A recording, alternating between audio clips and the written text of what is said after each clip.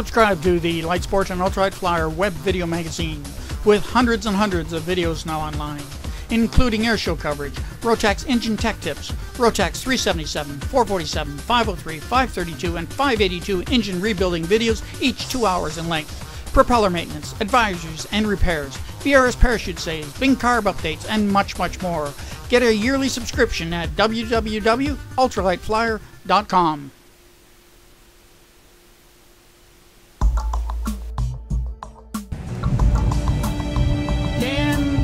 looks like one that we've already done.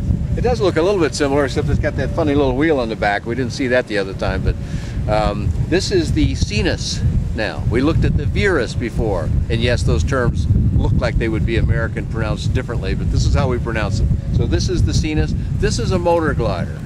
And you can tell that by its long wings here, which your camera can take in from another angle, but uh, it's another one of these gorgeous compound wings. This is a very accurate way and good way to make something that's made for soaring. That's what this airplane is all about. You, sure, you can go cross country in these too, but the, the magic here is to go up and uh, turn the engine off and see how long you can soar the airplane and enjoy flying that way. And this airplane is particularly well optimized for that. For me, I'm a tail dragger pilot. I like tail draggers, so I'd rather not have that nose wheel up here. I understand that works best for a lot of folks, but the tail wheel on this, I think, gives it a really good look, and it's just that much less drag without that thing hanging down here in front of the nose. Now, what about the length of the wing here, Dan? This looks to have a, a fairly long wing on it. Well, uh, the Pipistrel, that's the name of the company that makes this airplane. Uh, they make all those different models we spoke about in addition to a powered uh, sailplane. So they've got quite a variety. This one here is available in three flavors. You can have this 50 foot span approximately, you, or you can have a 40 foot span Virus, or you can have a 34 foot span Virus, which is the Virus SW for short wing. Now this looks like it was another award winner uh, from what I can see on the side. Well, I don't know that it was this particular one, but this company, Pipistrel, entered into one of NASA's efficiency flight contests. It's got a longer name than that, but that was the idea, and came out the winner. Won a big fat check, $165,000, I believe, and so that was part of what the Pipistrel company achieved with a little bit different airplane than this, but essentially this one.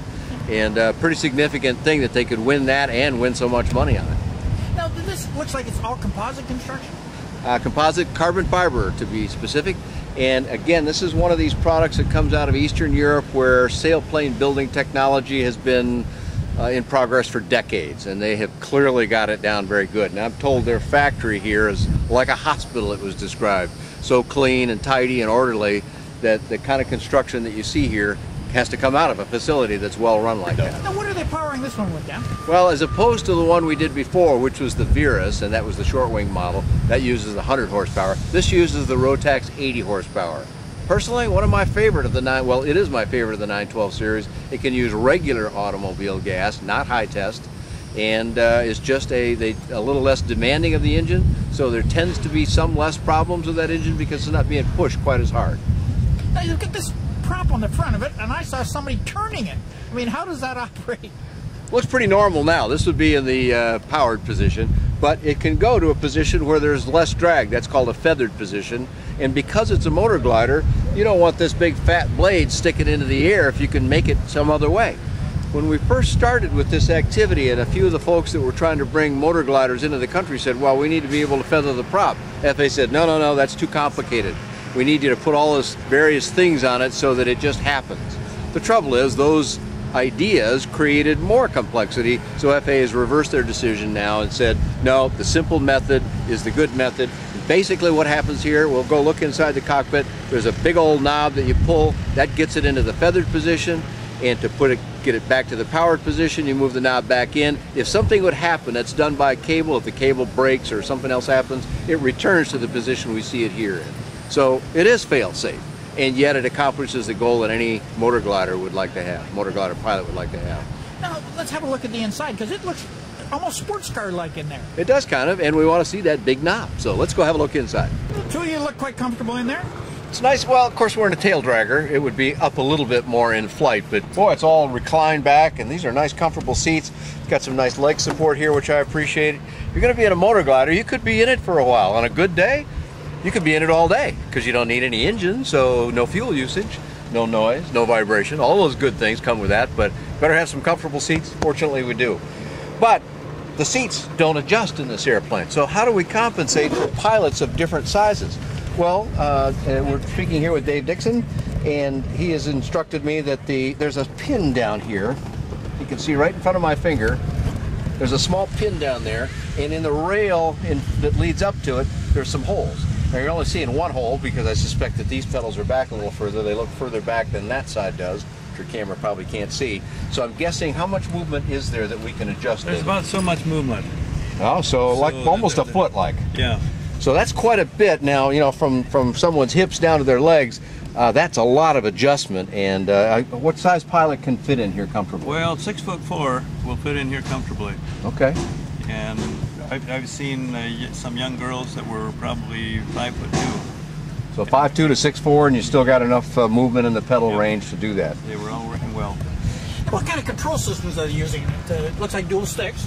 Dual sticks, uh, also dual rudder pedals on both sides, and uh, toe brakes on both sides, which you can see right here up here behind my hand. There's the toe brake activator. Looks like a hydraulic system, and on the mains, of course, since it's a tail dragger.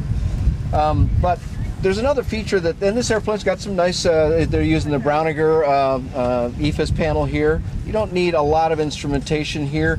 Typically, in an aircraft of this type, you'll have an instrument called a variometer, which is one that helps you uh, know whether or not you're going up or down when you've uh, got the engine off. And indeed, that's on this side over here. Functions as a variometer, David says. And so that's, to a soaring pilot, that's probably the heart of the airplane when the engine's off. Of course, it's also got some capability to show engine instrumentation as well. Is the airplane equipped with flaps? Y- Yes, it is. We've got flaperons. If you'll notice out on the wing, we've got four positions: two, one, zero, and then a negative, which is called a reflex position for, for soaring pilots. And this gives you more efficiency. Reflex brings the back end of the uh, the uh, flaps up a little bit, not just to neutral, but actually raises them, which helps the airplane have a little more speed to it. It's a function that's common on many European airplanes, quite rare on American airplanes, uh, but it's called a reflex position. So there's two positions of flap, neutral, and then the one negative or reflex position, which brings those ailerons up. And what's that great big black handle that's between the two of you, Dan? That's the spoilers. And gliders soar so well that you will sometimes gain altitude in the traffic pattern. In the summertime, it's quite common where I live. So we have to use the spoilers to get down. kind of an air brake. What people see on an airliner when uh, on landing, usually they'll deploy a surface on the top of the wing. What it does is kill lift. This thing is such a long span, it's making lift all the time. These are hard airplanes to get down, which is the idea, of course. They want to stay up. But when it's time to land and you want to get it down, and if it glides so far you can't land it on a normal runway, what do you do? You deploy the spoilers. And that looks like it's full, full deployment, but I'm guessing that you work that when you're coming in and you use it almost like touching the brake a little bit in a car. Instead of using power like some people do in an, in an approach with an engine with an aircraft, you use the spoiler to control your rate of descent. It'll go 1,100 feet per minute down, or it'll go 200 feet per minute down. That's a lot of change out of those, and they're they're very effective. We'll catch a, catch a camera view of that later. Another important handle up here that's sweet in my mind. This is an emergency parachute system for the whole airframe. Pull that handle once you remove the safety pin, and uh, a rocket motor hauls out the parachute, brings the airplane down to the earth. Hopefully, you never need that stuff, but it sure is nice to have it sitting there, even if you don't need it.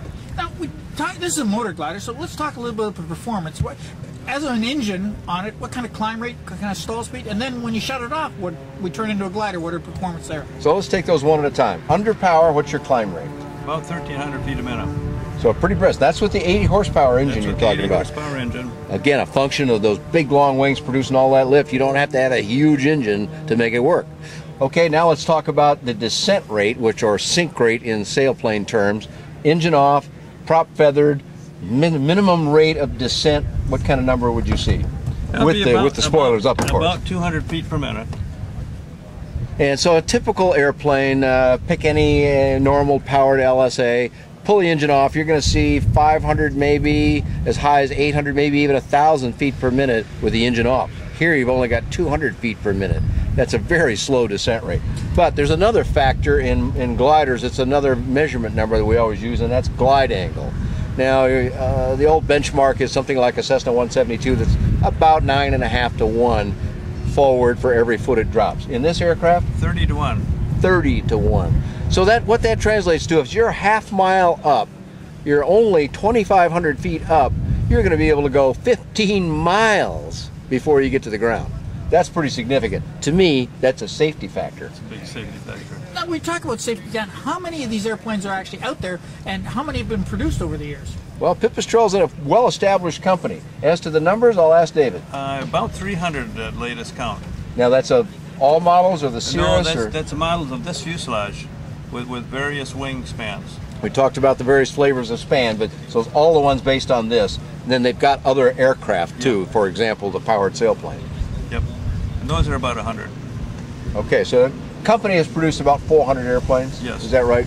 And they're sold all over the world, um, and uh, the fewest of them probably in the U.S. But guys like David are trying to work to change that. So there's one other knob we got to talk about in Oh here. yeah, that though. was the one we were playing with the prop on. That's right. There's a couple more down here in the center. They're kind of ordinary things. If I can get my leg out of the way, we've got throttle and choke down here, the usual arrangement of switches and fuses and so forth. But then we got this one, and we talked about that earlier, and I'll let David demonstrate. So pull back, notch it over. Pretty simple. Back the other way, let it go. And again, if the cable breaks, it's a cable that does that. It's spring loaded to the forward position relative to that knob, which puts the prop back in a climb or a power situation as opposed to being uh, fully feathered, which gets the drag down to the minimum.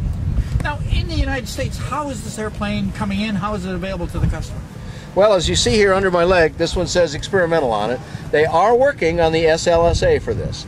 Uh, that's a that's a kind of a long process, and they're not quite done with it yet. Meanwhile, these are sold under the experimental exhibition. Oh, let me correct you that. We, we are now selling them LSA, and we have two in the country that uh, are LSA. We're still working on with the FAA to get the paperwork on them.